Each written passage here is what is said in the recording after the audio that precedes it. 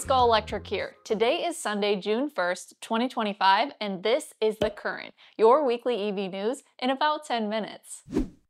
BMW has revealed a revised i4 Grand Coupe with updated styling and improved efficiency, along with a new M60 xDrive high performance variant that's set to hit the market this summer.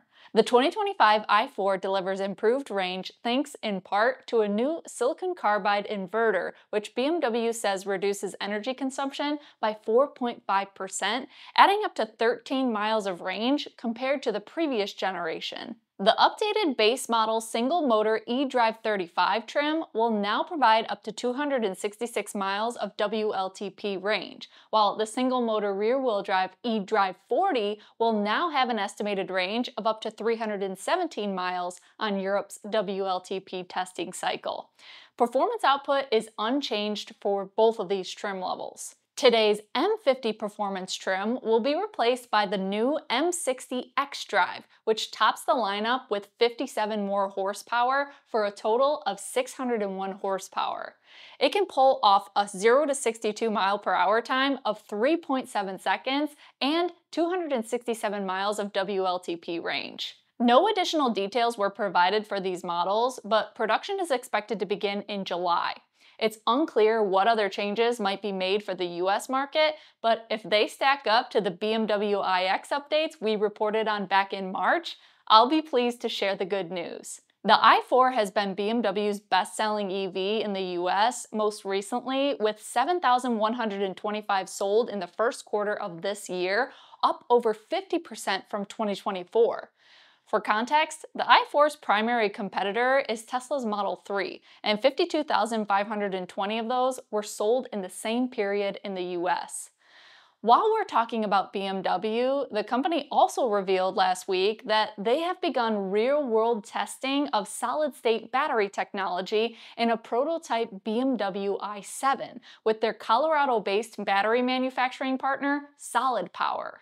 This partnership started back in 2016, and in 2021, BMW led one of Solid Power's funding rounds alongside Ford. Korean battery manufacturer SK On also followed with an investment in 2021. During the i7 solid state testing in Munich, Germany, BMW is focused on refining methods of managing cell expansion, operating pressure, and thermal conditions within the battery pack. Solid state batteries promise higher energy density for longer driving range, faster charging times, and improved safety due to their non-flammable solid electrolytes. Research has shown they can offer a longer lifespan and better performance in extreme temperatures, but they can also present challenges including high production costs, complex manufacturing processes, and more. Addressing these concerns is key to reaching full-scale production. We've previously reported that Mercedes and Stellantis have begun real-world testing of Factorial's semi-solid state batteries, and there have been plenty of rumors related to other automakers, but this BMW i7 testing is our first official confirmation of fully solid-state automotive battery packs operating in the wild. Could BMW be the first to market with the first true solid-state battery pack?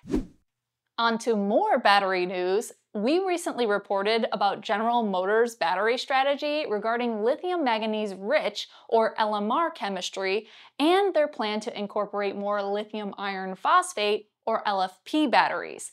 We also reported about that plan last fall after their investor day. This week, GM provided some more insight on how they will source their lithium iron phosphate batteries, which they project will reduce battery costs by up to $6,000 per vehicle. The company announced that they will be retrofitting joint venture factories in the United States to produce LFP batteries with South Korean partners LG Energy Solutions, and Samsung SDI. The retrofitting will take place at Ultium Cells plants in Warren, Ohio and Spring Hill, Tennessee, co-owned with LG Energy Solutions, which is currently operational, and a Samsung SDI joint venture facility in Indiana set to begin operations in 2027.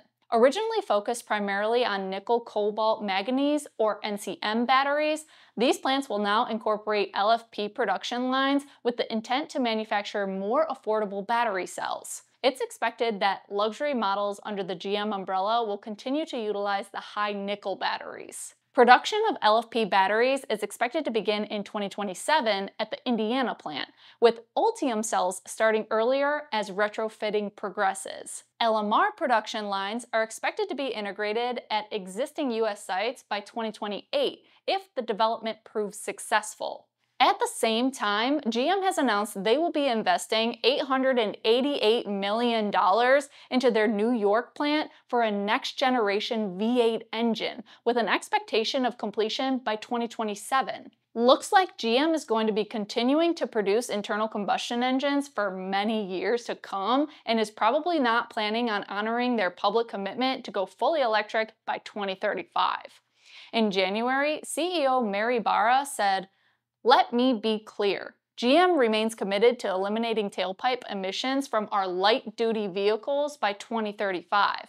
But in the interim, deploying plug in technology in strategic segments will deliver some of the environmental benefits of EVs as the nation continues to build its charging infrastructure. In March, GM was also approved to join the Formula One grid under their Cadillac brand for the 2026 season, which also marks the beginning of a new era of hybrid powertrain regulations. Cadillac was supposed to be an all electric brand by 2030, but in recent months, the company walked back those plans. Back in December, we shared news that the world's leading EV battery manufacturer, CATL, had developed and presented a new swappable battery system called Choco SEB that would be implemented in hundreds of brands' vehicles with tens of thousands of supporting swapping stations to be built across China. I'll link that video below if you want to learn more about the finer details. This week, just six months later, CATL has launched its first Choco SEB battery platform with the delivery of 1,000 Chang'an Ocean 520 electric sedans to a taxi operator in China. This marks a notable milestone in standardizing battery swapping in the country. The Choco SEB system allows drivers to swap batteries in just 100 seconds, offering 320 miles of CLTC range with a 56 kilowatt hour LFP battery. CATL says they have already established 34 swapping stations in the city of Chongqing, with plans to expand to 50 by year end and 1,000 across 31 cities by the end of 2025. CATL's partnerships with automakers like GAC, FAW, and NIO aim to integrate Choco SEB into more models in the near future. But CATL had even more battery news this past week. The company also announced a significant breakthrough in lithium metal battery, or LMB technology, where researchers at CATL's 21C lab have doubled the lifespan of LMBs to 483 cycles, while maintaining a density of 500 watt hours per kilogram. For reference, a typical lithium ion battery density is around 200 to 300 watt hours per kilogram. Lithium metal batteries use pure lithium metal as the anode, which has a higher energy density than the graphite anodes in lithium ion batteries. That results in greater energy storage and longer lifespan. The key to this advancement lies in a new lithium salt electrolyte, developed through the advanced analytical techniques to track lithium and electrolyte evolution through the battery's life cycle. CATL optimized the electrolyte formulation by introducing a lower molecular weight diluent. This adjustment increased the electrolyte salt's mass fraction, improved ionic conductivity, and reduced viscosity, all without increasing the total mass of electrolyte used. The company says this innovation addresses long-standing durability challenges and brings LMBs closer to commercial production. The application of lithium metal batteries are thought to be beneficial not only for long-range passenger EVs, but in aviation as well. While there still seems to be delays and setbacks for EV advancements, news like emerging chemistries and improved cell performance continue to materialize. Ford has taken the cover off their latest contender for this year's Pikes Peak International Hill Climb in June, introducing Ford's Super Mustang Mach-E all-electric demonstrator. The souped up race car with its massive rear wing creates an astounding 6,125 pounds of downforce. I cannot wait to see this one take on America's mountain. This is the third consecutive year that Ford is competing with an EV at Pikes Peak, following the Supervan 4.2 and F-150 Lightning Supertruck. We were fortunate enough to have the opportunity to join Ford and Stard's first EV attempt at Pikes Peak with the Supervan. In our dedicated coverage, we told the complete history of EVs at America's Mountain, Ford's demonstrators, and some background about driver Romain Dumas. Ford also produced an outstanding in-house documentary on the subject, and I was thrilled to contribute to that as well. I've added links to those videos in the description below if you'd like to get up to speed. We will keep you posted on all the details for the race to the clouds where EVs continue to claim records. Well, those are our top EV stories for this week. If you found value in our coverage, we ask that you share this video online and be sure to subscribe so we can continue producing this show. Thank you all for joining me this week, and until next time, drive, fly, ride. Go electric.